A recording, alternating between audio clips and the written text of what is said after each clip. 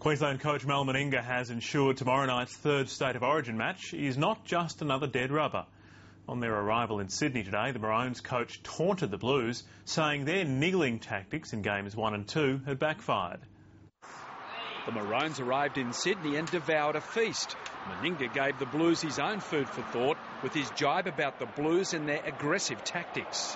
I would think that, um, you know, all those niggly tactics and some of the things that try to put us off our game and one and two hasn't worked for them. So I would imagine they want to come out there and play a bit of rugby league. The Blues are under extreme pressure to avoid a series whitewash.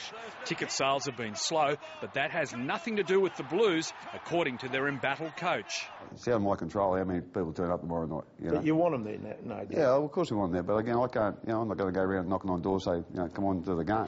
After almost two years of French rugby, Mark Gasnier has made his highly anticipated return to the NRL. But the Prince of Centres played like a pauper last night, dropping the ball twice in the second half against the Panthers. For me, I probably, you know, got got into the game a bit more as it went on, and you know, hopefully I can just improve each week. With both sides missing their origin stars, the Panthers beat the Dragons 12-8. Glenn Palmer, ABC News.